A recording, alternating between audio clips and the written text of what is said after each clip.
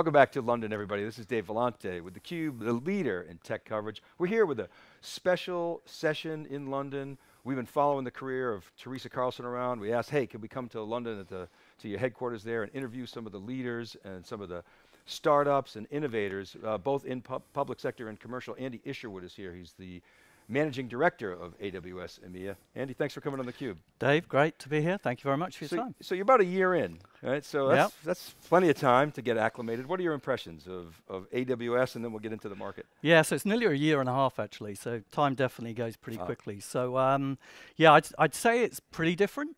Um, I'd say probably a couple of things kind of jump out at me. Uh, one is um, I think we just have a startup mentality in everything we do.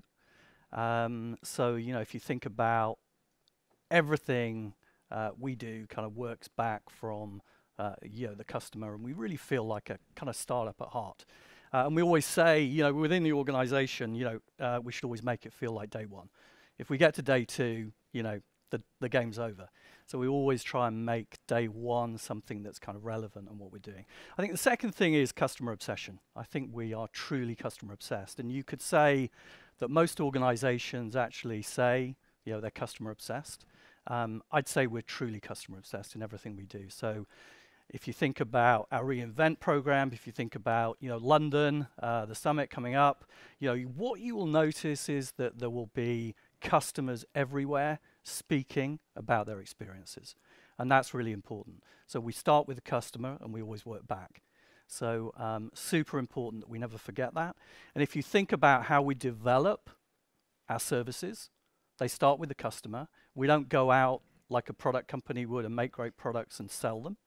We start with the customer, work back, develop the solutions, and then let the customer use them, and we iterate on those developments. So I'd say it's uh, it's pretty different in those two aspects. I'd say the other thing is, you know, it's just hugely relevant you know, every customer I go into, and I've seen hundreds of customers in the last year and a half, um, we're hugely relevant.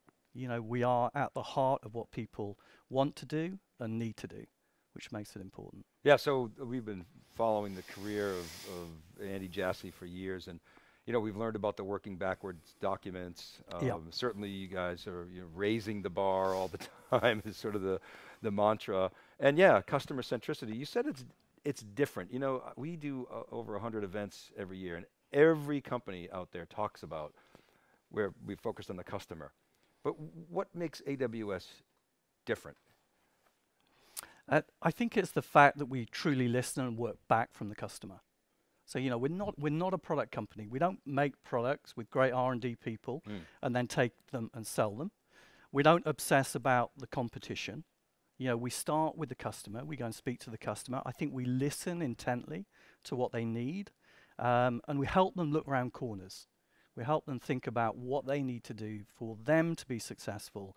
Then we work back, um, and probably 90% of what we do is, you know, fundamentally developed from those insights that the customer gives us. That's quite different.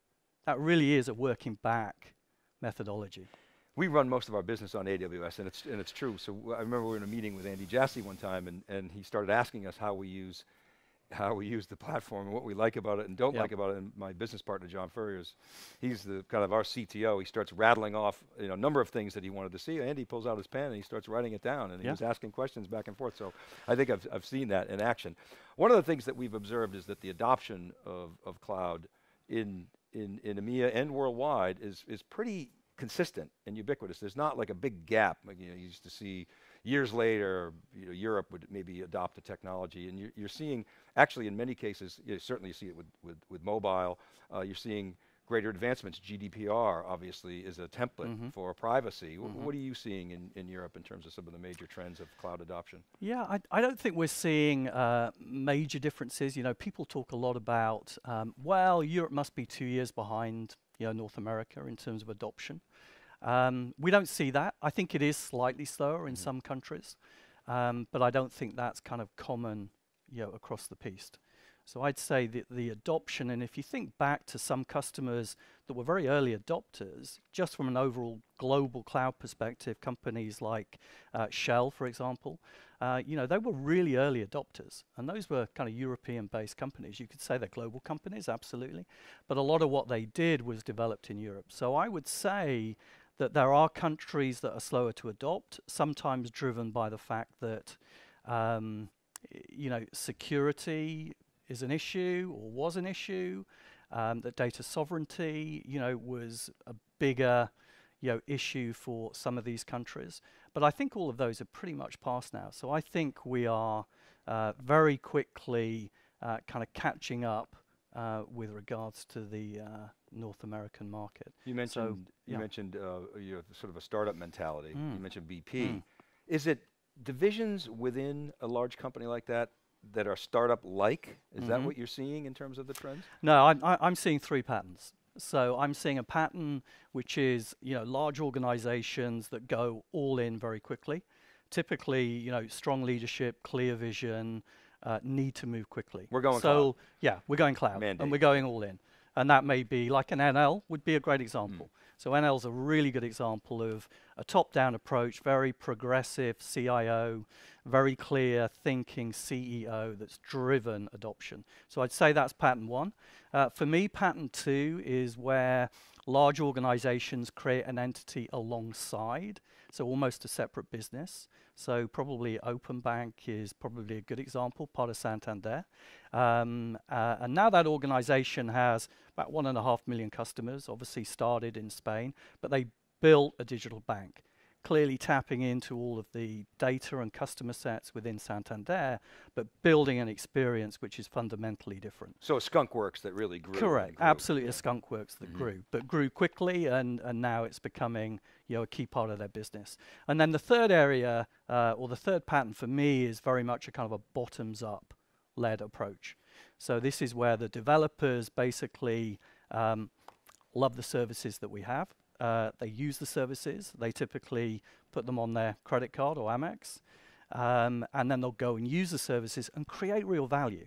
That value is then seen and it, it snowballs. So those are the kind of the three patterns. I'd say the um, the only kind of outlier to those three patterns is a startup organization. Mm -hmm. And as you know, we've been hugely successful with startups from you know Pinterest to Uber you know, to Careem, to all of these organizations. Uh, and those organizations, it's really important to influence them early on, uh, to make sure that they are aware and the developer community and the founders are aware of what we can do. And we have a number of programs to really help them do that. Um, and, you know, they start to use our services.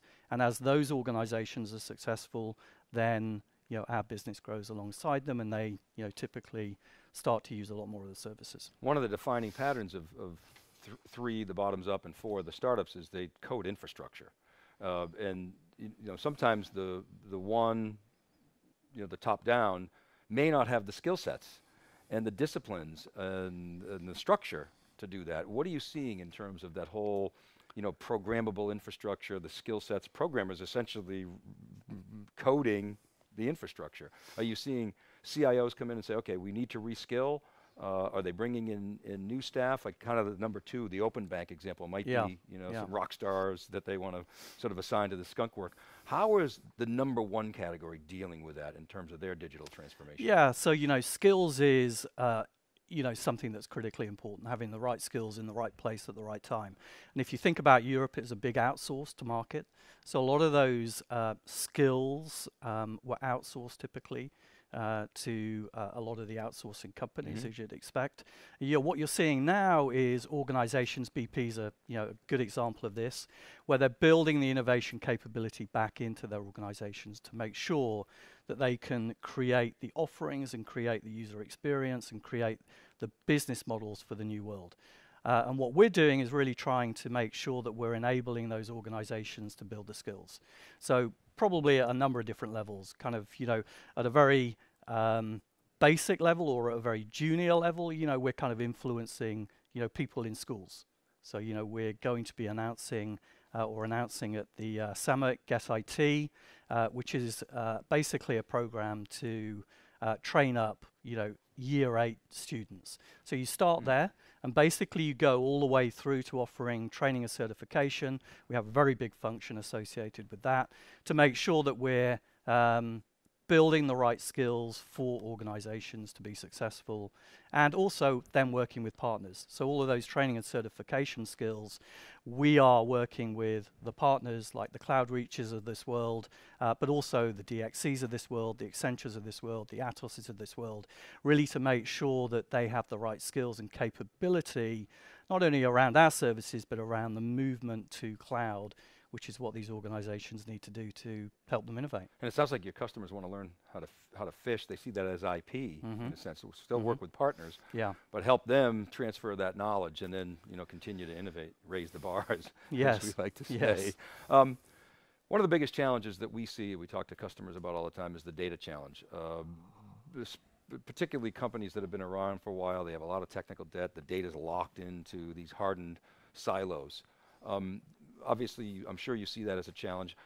Maybe can you address that, how you're helping customers deal with that challenge and some of the other things that you see cloud addressing? Yeah, so, uh, you know, uh, we're really trying to help customers be successful in doing what they do at the, in, in the time scale that they're um, kind of setting themselves mm. and, and we're helping them be successful. Um, I think from a data point of view, you know, we have a lot of capability. So just to give you a perspective, so you know, since I've been here that year and a half, uh, we started with 125 services. Uh, that number of services has gone to you know 170 odd services now. Um, and the innovation that we have within those services has now reached, I think, last year just over the 1900 level. So this is iterations on the product. In addition to that, you know, we are continually building new offerings. So if you think about our database um, strategy, you know, it's very much to create databases that customers can use uh, in the right way at the right time to do the right job. And that's just not one database, it's a number of different databases tuned for specific needs. So we have 14 databases, for example, you know, which are really geared to make customers use the right database at the right time to achieve the right outcome. And we think that's really important. So that's helping people uh, basically use their data uh, in a different way. Obviously, our S3, our core storage offering, is critically important and hugely successful. Um, you know, we think that as is you know, the bedrock for how people think about their data, and then they expand and use data lakes, and then you know, underpinning that is making sure that they've got the right databases to support and use that data effectively. I mean, at the start of this uh, millennium, there was like a few databases. The mm. database was a boring marketplace, mm -hmm. and mm-hmm. now it's exploded. AWS has dozens. I mean, it's actually amazing um, how much innovation there's occurring in that space. Um, what's your vision for AWS in EMEA? Yeah, so, um, well, you know, the overall Amazon vision is to be the world's most customer obsessed organization. So, you know, here in EMEA, that holds true. So, you know, we start with the customer, we work back, and we want to make sure that every single customer is happy with what we're doing. Um, you know, I think the second thing is making sure that we are bringing and enabling customers to be innovative. You know, this is really important to us. Uh, and it's really important to the customers that we sell to. You know, there's many insurgents kind of attacking historic business models. It's really important that we give uh, all of the organizations the ability to use technology, whether a small company or a big company. And we call that the democratization of IT. We're making things available that were only available to big companies mm. a while back. Now we have made those services available to pretty much every single company, whether you're a startup in a garage, you know, to a large global organization. So that's really important that we bring and we continue to democratize IT uh, to make it available for the masses so that they can go out there and innovate and do what ultimately customers want to do. You know, customers want people to innovate. Um, customers want a different experience. Uh, and it's important that we give organizations the tools and the wherewithal to go and do that. Well, you've been in the industry long enough and you've worked at product companies uh, uh, pr and prior uh, to, to this part of your career. And you know the innovation engine used to be Moore's Law. It used to be how fast can I take advantage of that curve, and that's totally changed now. um, you see a number of things happening. It's get rid of the heavy lifting so you can Mhm. you know focus on your business. That's what cloud does for you. But it's Mhm. it's kind of this combination, the cocktail of data uh, plus machine intelligence, Mhm. and then the cloud brings scale. It attracts innovative companies. How do you see? First of all, do you, do you buy that sort of new cocktail? And how do you see customers applying that innovation engine? Yeah, you know, to answer the first bit first, you know, we definitely see that cocktail.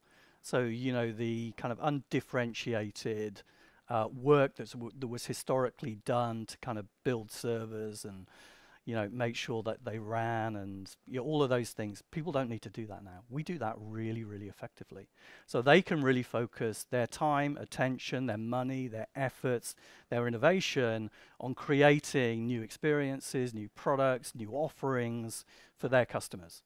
And they should also, you know, work back from customers themselves and work out what's really required. Every single business model, every single offering, you know, needs to be questioned by every single organization. And I think that's what we do. We give the ability to organizations to really think differently about how they use uh, you know what we have to do the really important things, the things that differentiate them, and the things that ultimately give customers a different experience. And that's why I think we've seen so many very successful companies, you know, from Airbnb to Pinterest to Uber. It's giving people a fundamentally different uh, experience, and that's what people want. So you know, we're here to, I think, give people uh, the ability to create those different experiences. It's kind of amazing when you go back and you remember the book "Does IT Matter?" The Harvard Business Review, famous.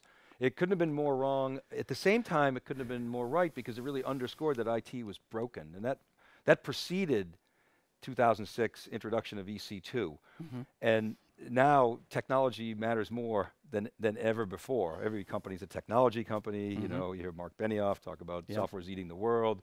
It's so true, and so as companies become technology companies, uh, what's your advice to them? I mean, obviously, you're going to say, let us handle the heavy lifting, but what do they have to do to succeed in their digital transformation, in your view? Yeah, you know, I, I think it's about you know changing the mindset and changing the culture of hmm. organizations. So I think you can try and instill new processes and new tools on a on an organization, but fundamentally you've got to change the culture. And I think we have to create and enable cultures to be created that are innovative. And that requires, I think, a very different mindset. That requires a mindset which is about we don't mind if you fail. You know, and we'll yeah, we'll we'll applaud failure. You know, we in Amazon have had many failures, um, but it's applauded. Uh, and if it's applauded, people try again. So they'll dust themselves off and they'll move on. You can see this in Israel, which is you know very much a startup nation. Um, you can see people start a business, they might fail. Next day, they start a new one. So I think it's having this um, culture of innovation that allows people to experiment. Experimentation's good, but it's also prone to failure. But you know, out of ten experiments, you're going to get one that's successful. That one could be the make or break for your organization to move forward and Mm. give customers what they actually need. So you Break know, things, move fast, right? Exactly. Yeah, I love it. All right, what should we expect tomorrow at the uh, the London Summit? We got a big crowd coming. It's uh, at the Excel Center. Yeah, I Give think you'll. Yeah, I, I think you'll see us, you know, continue to innovate. I think you'll see a lot of people, uh, and I think you'll see a lot of customers talk about their experience and share their experience. You know, these are learning summits. Mm. You know, they're not kind of show and tell. Uh, they're very much about explaining what other customers are doing, how people can use the innovation, and you'll see, you know, lots of experiences um, from different customers that people will be able to take away and learn from and go back to their offices and, and do similar things, uh, but probably in a different way. So, you know, there'll be lots of exciting announcements. You know, as you saw from reInvent, uh, we continue to innovate at a fair clip. Uh, as I said, 1,950 odd innovations, you know, significant releases last year. So, not surprisingly, you know, you'll see a few of those. So yeah, these summits are like they're like mini reinvents, aren't Yeah, they? yeah. And uh, and as you said, Andy, very customer focused, customer centric. Uh, uh, a lot of customer content. So, Andy Isherwood, thanks so much for coming on the Cube. It was really great to have you. Great. All right. Thank you. You're welcome. Keep it right there, everybody. We'll be back with our next guest right after this short break. This is Dave Vellante. You're watching theCUBE.